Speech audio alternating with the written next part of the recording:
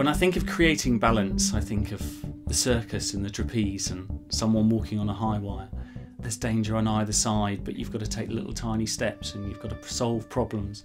And uh, as an artist, it's a bit like that for me that desire to get it right, desire to follow that straight path and, and not fall off it.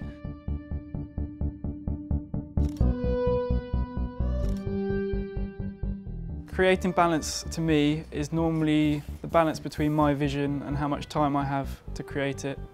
A lot of the time I work with people so I don't have much time given to me by them so I've got to balance what they have to create the vision and the image that I want.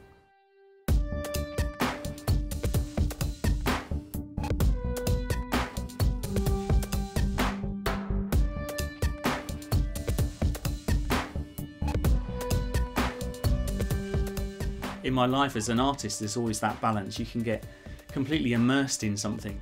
All the time, I have to kind of balance what's happening in my head and my artwork, but also when I step out of that, when I'm a dad and a husband and a, you know, I live the everyday life and have to do shopping and feed the cats and things. So there's always that balance between kind of not getting completely lost in, in what I'm doing with my painting and, and coming back to the real world.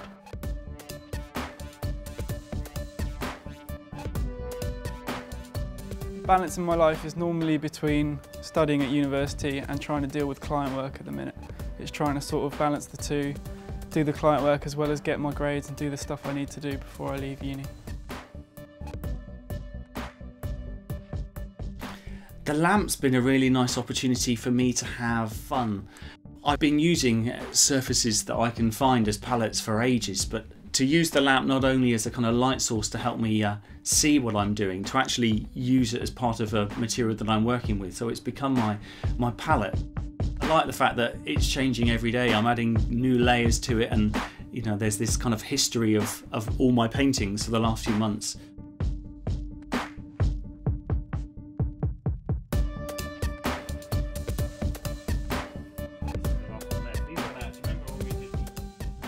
The lamp's changed my work a lot. It's given me a constant source of light, which I'm not really used to. I use flashes a lot, so I don't normally see the image until I've taken it.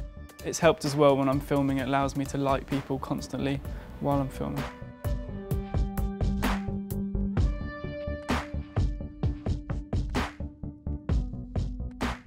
I remember in school, my teachers always talking about the fact that when you're painting, it's just about light and shadow.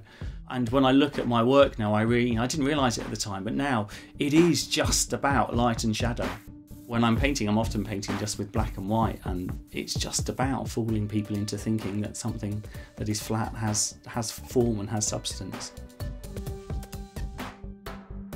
Light is extremely important in my work. Um, a lot of the time I've got to compare the two different types of light I want to use. Often the absence of light is what I use when I light cars and light people and things like that to create a moody image.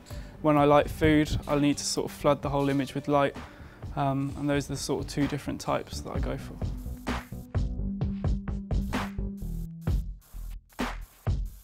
I'm My Dog Sighs.